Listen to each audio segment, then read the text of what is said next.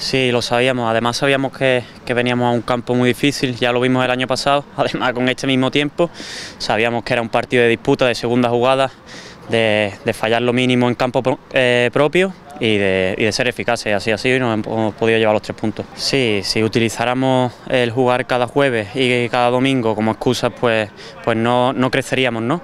Entonces, pues como has dicho, nos sobreponemos a las adversidades. Eh, al cansancio, al, tiempo y, bueno, hemos podido sacar los tres puntos.